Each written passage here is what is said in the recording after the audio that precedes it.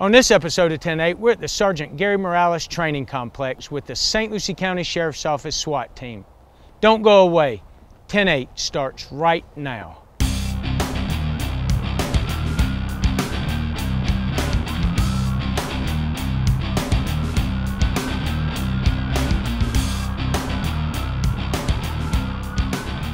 Welcome to 10-8. I'm your host, Captain Brian Hester, and today we're at the St. Lucie County Sheriff's Office Sergeant Gary Morales Training Complex.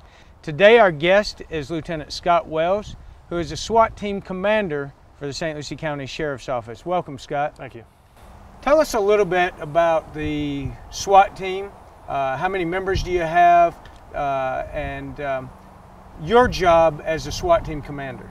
Well, the team consists of 29 deputies. Uh, we're what's known as a part-time team, which means those 29 deputies are pulled from all different areas within the sheriff's office. Uh, in the event they're needed for some kind of situation, then they are released from wherever they're working, and they would respond and help us handle whatever critical incident that we're dealing with. Uh, my role as a team commander is to manage the overall operations. I'm responsible for the training, and if we have a call out, to actually uh, be incident command for that scene these members of the SWAT team, they could work anywhere within uh, the sheriff's office. Is that correct? Correct. We have we have some that are detectives. We have some in school resource, patrol, uh, all the different units uh, they come from. Okay. And you guys all train together. And I know we're going to talk about uh, training a little bit later in the show, but you guys all get together uh, every month and you do your training as well. Yes, we have uh, 26 a minimum of 26 training days a year, and the whole team assembles at a pre-designated location. A lot of times it's here at the range. It could be another location. We train in the schools. We also train in some of the other large commercial structures. And, you know, we train as a team, train as a unit, and um, just whatever that particular training is for the day. And you said you've been with the team for 20 years now, is that correct? Yes, 20 years. How did you become the SWAT team commander? Well, I started out, I guess, at what you'd say the bottom, uh, just being a uh, utility guy that kind of the gopher, whatever, whatever needed to be done, carry equipment, drive a truck, um, and then progressed up as my training advanced. Uh, became an entry team member, uh, done breacher, and then at one point I was uh, assigned as a team sniper and did that for many years, and ultimately became the team leader of the sniper team. And just so our viewers have an understanding, you're the SWAT team commander. But under you, you have team leaders that are in charge uh, of specific teams, like you just mentioned the sniper team. Explain um, how that setup works. So we have the team is based, broken up into three different elements, and each element has its own team leader and an assistant. So that allows us, with that kind of leadership structure, to really uh, delegate, and it gets a lot of other people involved in the leadership roles.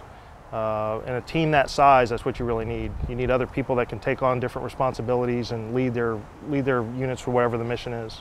You command the entire incident, and then you have team leaders in charge of smaller teams that sort of direct, uh, let's say, a task force on an operation to handle certain aspects of those operations as well, whether it be sniper or an entry into a residence or uh, whether it's grenadiers for gas uh, teams and so forth. Yes, correct? that's correct. Okay. Now we talked a little bit about how the team is set up and the makeup of the team. Tell our viewers um, a little bit about what it takes to be a SWAT team member because these are, if um, you know, these are the elite of the elite. Um, you know, training wise and selection wise. So tell our viewers a little bit about what it takes to become a SWAT team member. Well, they have to be a, a certified deputy with us meaning they've been through law enforcement academy and they're actually working in law enforcement. Uh, they have to be off probation.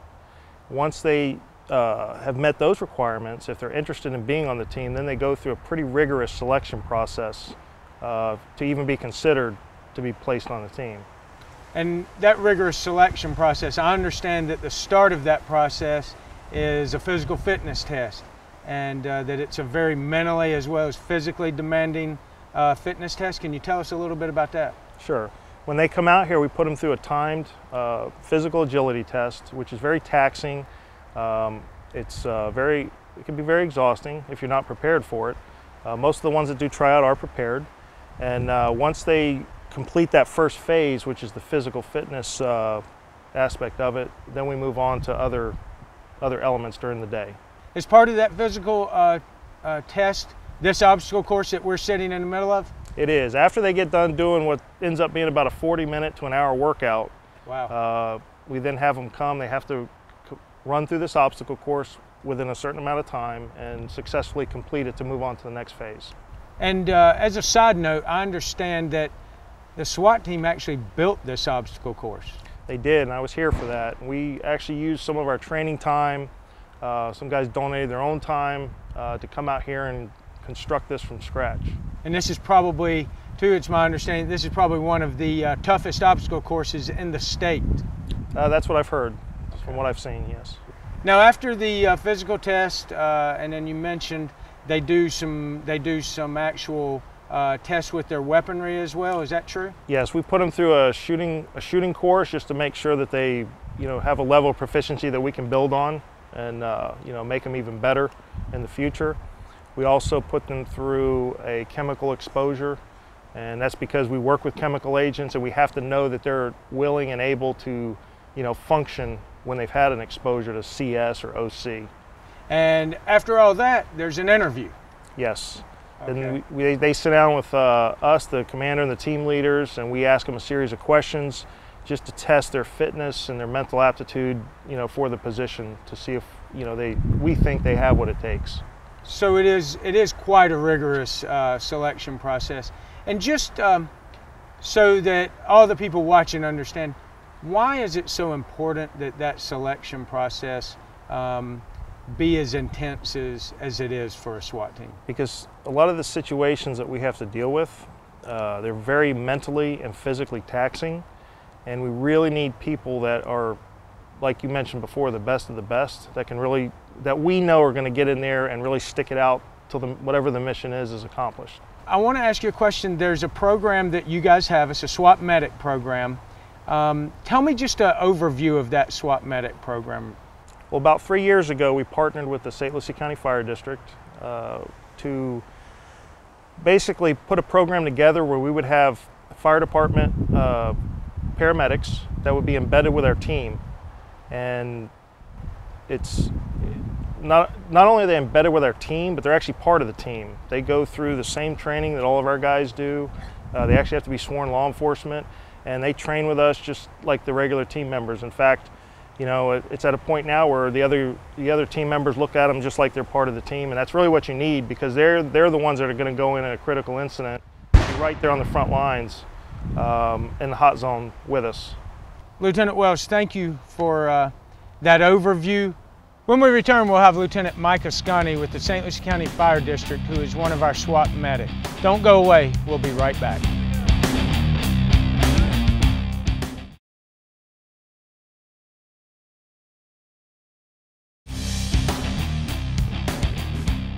Welcome back. We're joined with Lieutenant Mike Ascani from the St. Lucie County Fire District, who is one of our SWAT medics.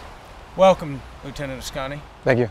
This is an interesting relationship because you work for the St. Lucie County Fire District and you are also an auxiliary St. Lucie County deputy. Is that correct? That's right. Because of that relationship, you're one of our SWAT medics.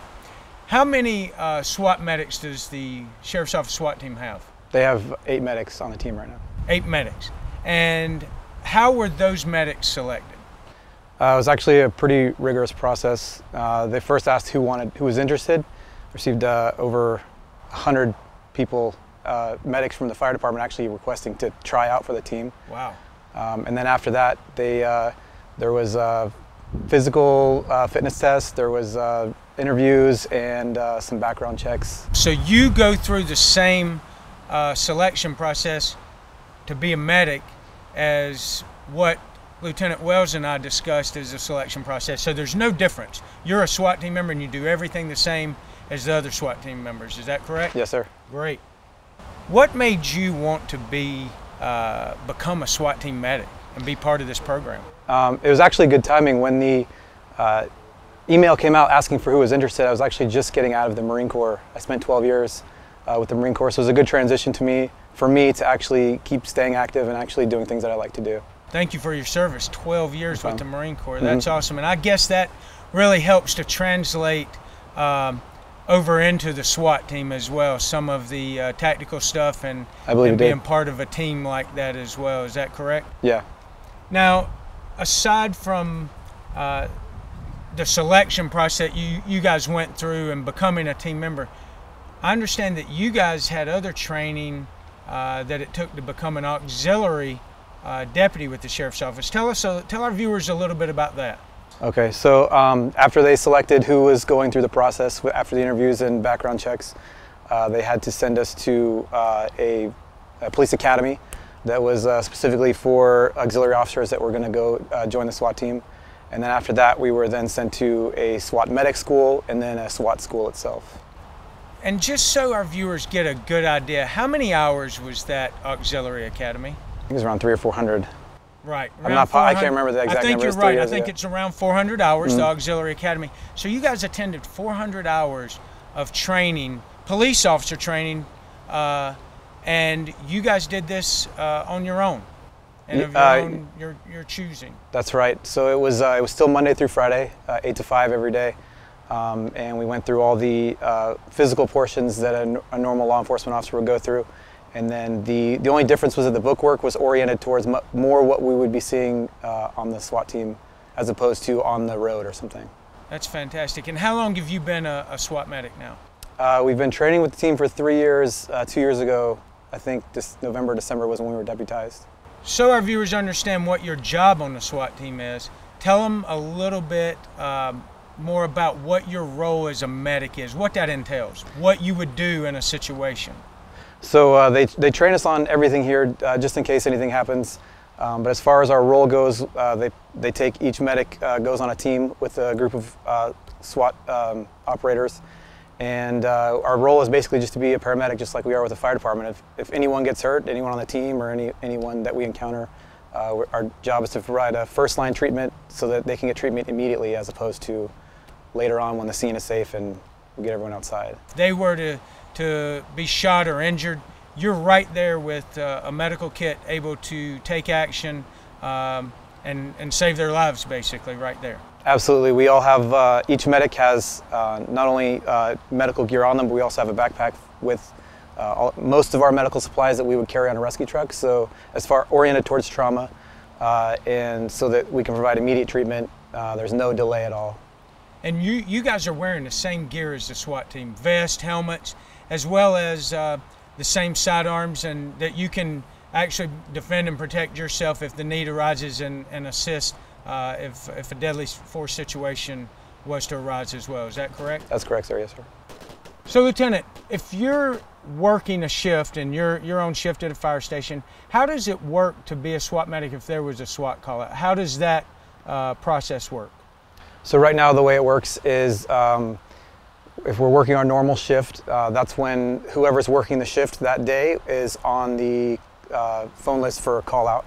Uh, when the call out comes in, they'll contact contact us at the station, um, and then we will, if we're not on a call, we'll drop what we're doing. We report directly to wherever we're supposed to go and go from there. So you guys carry your gear with you to work every day.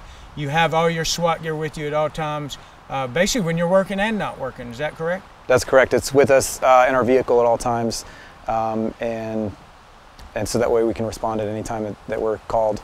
And you guys are also uh, at training every month, and we're going to talk more about training later in the show. But you guys train um, as a regular member of the SWAT team as well. Yes, sir. Fantastic. Well, this is a great partnership between the St. Lucie County Fire District and the St. Lucie County Sheriff's Office. And I thank you for being here. Thank you for your service uh, to our country. And thank you for what you're doing uh, as a SWAT medic uh, with our SWAT team. No, thank you. When we return, we'll be with Deputy Nate Stubley, who is one of our assistant team leaders. Don't go away. We'll be right back.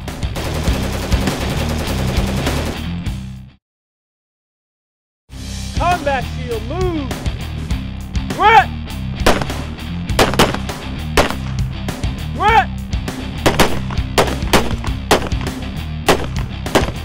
Welcome back. We're joined by Deputy Nate Stubley, who is a member of our SWAT team. Welcome, Nate. Thanks for having me. Tell us a little bit about your role on the SWAT team and how long you've been a member of the Sheriff's Office SWAT team. So I came to the team in 2013 when I came to this agency, and uh, eventually this past year they brought me to the rank of uh, assistant team leader. So it's nice now to kind of have somewhat of a leadership role here on the team, and uh, couldn't be a better group of guys to work with. Well, congratulations on becoming an assistant team leader. Thank you.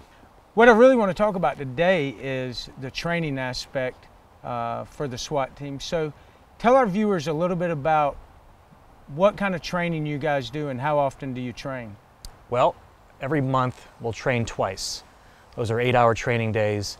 And training generally will encompass, well, it starts off with a, a physical training session. We do that to maintain a certain standard, a physical standard. It's also good for the team building aspect because these are group workout sessions that start at the very beginning of the day. So as soon as we finish there, we'll transition into uh, it could be scenario based training, it could be uh, firearms based training. We try to touch on everything as often as possible. Um, also, we have a plethora of different pieces of equipment that help us accomplish whatever mission it is that you know, we need to go out and address, whether it's a barricaded subject or um, hostage rescue, etc. Now, is it true that um, I know you have to go through a rigorous physical fitness test to be on the team, but is it true that you guys maintain that, have to maintain that level of fitness, and you do that fitness test as well, like twice a year as part of your training? Yeah, it's 100% accurate. Yeah. Okay. So our fitness level is assessed, as you said, a couple times a year, and uh, it's necessary to keep everyone on par as far. It's a obviously it's a demanding position physically, um, and you know the mental aspect comes into play as well because the stronger you are physically, we feel that it makes you mentally stronger, which is you know obviously it helps out quite a bit. So those monthly trainings that you do, you said twice a month, Right. and uh, you guys predetermine what type of training you're going to do, and that could be done here at the range uh, or at another location. Yep. Who typically leads those trainings, and um, do they last all day, or they? How, how does that work? So the trainings typically, training sessions are typically, will go off of a curriculum of sorts. And like I said earlier, they could be anywhere from, uh, you know, we'll be off site in some kind of a facility. Um, we've been, you know, using different buildings to give our, our team members a variety of scenarios to, to kind of get acclimated to any, any number of scenarios they could encounter during a live operation. Uh, additionally, here at the range, we'll, you know, we'll do scenario training with not only structures that we have here at our, at our facility, but we'll use uh, a variety of the tools that we have at our disposal as well. Uh, again, there'll be tactical shooting involved, um, diversionary devices, um, you know, you know, gas, wh- wh- whatever we need to kind of go into to touch on for that, that training session.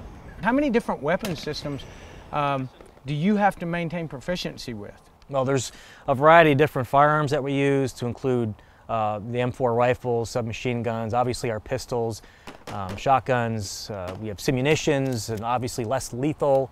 Um, we like to, obviously, it's necessary on SWAT to be able to escalate or de escalate depending on what the circumstances dictate. So, So yeah. every team member has to maintain their proficiency and training with all of those different weapon systems uh, as well throughout the years. absolutely, yeah. Wow. So in addition to your monthly trainings, um, we're here today at the Sergeant Gary Morales Training Complex where the SWAT team is actually doing your annual training. Right. Uh, tell, tell our viewers a little bit about your annual training. So every year, toward the end of the year, we'll do a 40-hour week of, uh, of SWAT training, and that, that week really is comprised of a comprehensive training over, like I said, the duration of the week, where we kind of we, we really get into everything. So we try to we try to encompass the training in various formats throughout the week. So we'll do shooting on a certain day. We'll try to um, do scenario-based training, uh, work on less lethal. Um, so again, tactical shooting. Um, we'll also try to bring other units into the mix as well, because in a larger operation, obviously it'll be more than just SWAT that's involved in um, whatever it is, wh- whatever mission it is we need to address. That's very true. Uh, most people don't realize that when SWAT's called out, SWAT's generally not the only uh, specialty team that's called out. We have our hostage negotiations team, our bomb team, we have our command uh, vehicles, our canine group, our aviation group. Um, so during this week, you train with those units as well? Yeah, uh, this week in particular, we'll be training with uh, pretty much all the units you just mentioned, um, uh, specifically canine as well, because we'll, uh, we'll have a scenario-based training later on this week that'll involve uh, tracking and, and, movement through a densely wooded area. Why is it so important for the team, um, with everything that you've got already to train on, why is it so important for the team to train with these other uh, units as well? Well, you want to have a synergy with them because ultimately, as I said, there's scenarios that could be larger in scope that would involve more than just the assets that SWAT has at their disposal. I mean, we may need, okay. or uh, we may need bomb disposal you know, to make things safe before we can make our entry. So, you know, there's a variety of uh, different professions and expertises that involved here. And getting everybody together, training together, uh, helps people to understand how other units work that they may not train with. Right. I understand that you guys also send your team members away to advanced training as well throughout the year. Just real quickly, tell our viewers about that training, what it might entail. So in addition to the SWAT training that we have here on site, we'll send uh, the newer SWAT members to uh, a SWAT school. Um, usually it's a Florida SWAT Association school that is somewhere else in the state. Um, so they'll kind of, they'll get really a full week of very intensive, structured SWAT uh, related uh, instruction throughout the course of a week to become proficient, bring those tools back to the team, and uh, then as they progress in their careers and they, they move up through the ranks, uh, they may attend SWAT leadership schools to become team leaders or assistant team leaders. They may become more adept at uh, the different uh, weapons or vehicles that we have, like less lethal weapons, for instance. Uh, they're, they're, we have various members who have been to gas munitions school and uh, everything from driving the MRAP through uh, all the other assortment of uh, pieces of equipment that we have. Well, thank you, Nate. And I think it's evident and obvious that there is a lot of training that goes on Uh, with the SWAT team. And uh, we thank you for what you do for the Sheriff's Office. Don't go away. We'll be right back.